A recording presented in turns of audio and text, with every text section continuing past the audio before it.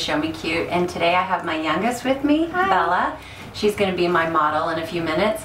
I wanted to tell you guys first about our quote this week. This one comes from Emily and Friends from the UK, Wales to be specific. And it says, love you always, love you still, always have, always will. Um, the reason I chose this one, it, other than it's really cute, um, just happened to be the cute little message that Emily sent me as well through email. I really enjoyed her email and for some reason it just jumped out at me and I just had to use that one. So keep them coming. I am loving reading all of the stuff that you guys are sending me. You're sending some really good stuff. So let's get to this week's tutorial, which is all over the place in different stores I've been seeing um, these scarves where they have been braided. Now this one I left some tails on it as well but you can choose all different variations of this braid and braid it all the way around you know leave some down however doing it tight doing it loose all whatever use your imagination so I wanted to share that with you because this was a new tie that I had not seen before and it's really different, really fun, really cute. So let's get going. All right, the first thing you want to do is take your scarf and put it around your neck like so.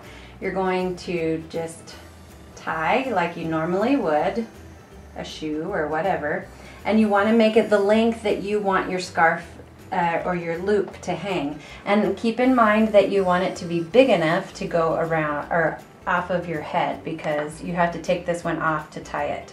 So I have that about where I think she will like it and then we're going to take it off. All right, this is what it looked like when I took, took it off her head and you're just going to take it and turn it so that the loop is actually like that. So your tie thing is up here. And you're gonna have three strands at like a normal braid. Here's one, here's one, and the middle is one. And so you're just gonna take these and this top one, I'm gonna start there and cross over. And this one, I'm gonna cross over and bring it under here. So this part of the loop is your third strand.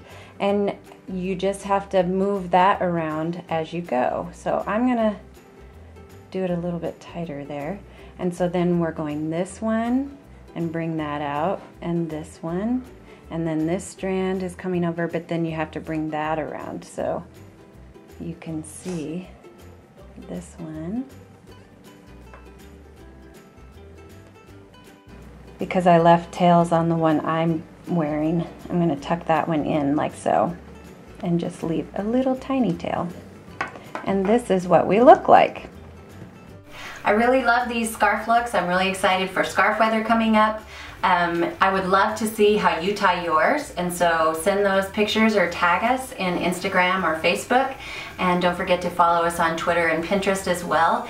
Thank you everyone for watching. We'll see you next week. Bye. Bye.